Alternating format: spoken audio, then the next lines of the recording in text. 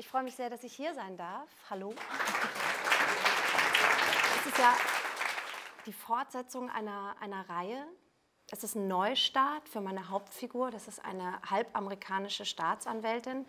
Sie hat ähm, die Armeepistole ihres Vaters benutzt und äh, jemanden gravierend verletzt. Und das darf man nicht als Staatsanwältin und auch nicht so schön verletzt. Sie hat nicht in die Beine geschossen, sagen wir mal so.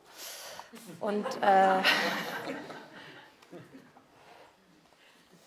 ja, und jetzt ist sie auf so eine, ist sie so offiziell kalt gestellt, auf so einer Opferschutzstelle, die relativ langweilig ist und ähm, arbeitet sich so langsam zurück ins Geschehen.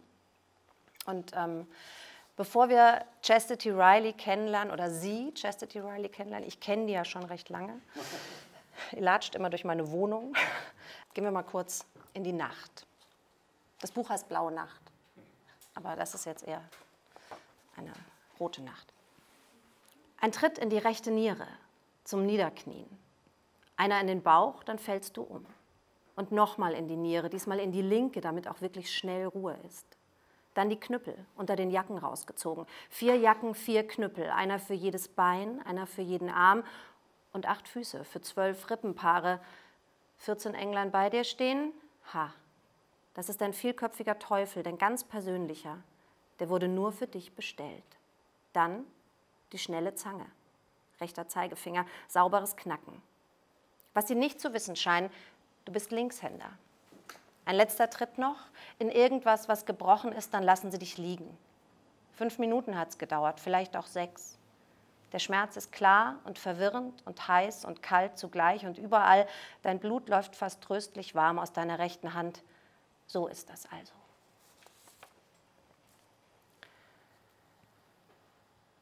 Der Motor hustet ein letztes Mal, räuspert sich wie ein alter Mann unter einem dunklen Himmel, dann säuft er ab.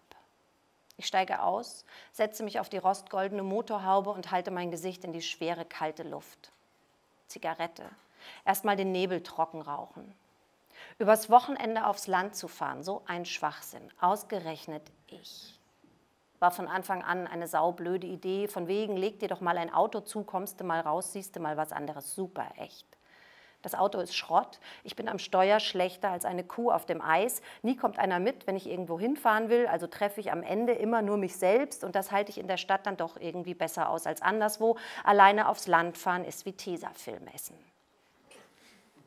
Und in der Stadt wartet jetzt jemand auf mich.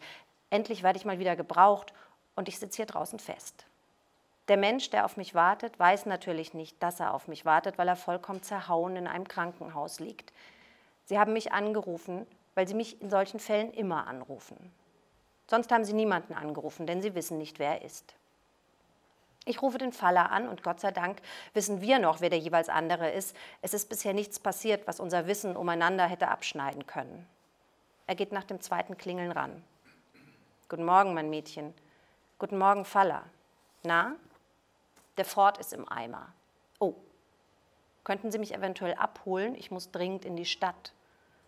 Wo sind Sie denn? Fucking nowhere, sage ich. Wo da genau? Mecklenburg, zwischen Zarrentin und Schieß mich tot. Irgendwo auf der B 195 nördlich der Autobahn. Aha.